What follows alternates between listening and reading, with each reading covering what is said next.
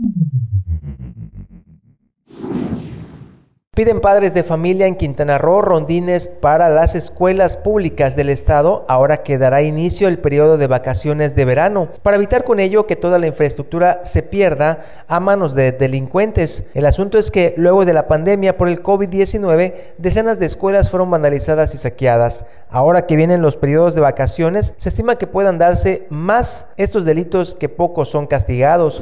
Descuidan por completo sus planteles entonces, nuestra recomendación es que las asociaciones al interior de, las escuelas, los maestros, todos los, padres de familia que viven aledaño, la misma este, cuerpo de seguridad pública, puedan dar rondines con objeto de aminorar el, pues ya sabemos en todos los periodos vacacionales hemos tenido incidencias altas de pues que entran a robar o que entran a pues a rayar las las bardas, llevarse los equipos. Esta es una situación que se vive cada que regresamos de, de vacaciones, ya nos damos cuenta de que se ha sustraído algo y pues ahora hay que apechugarlo.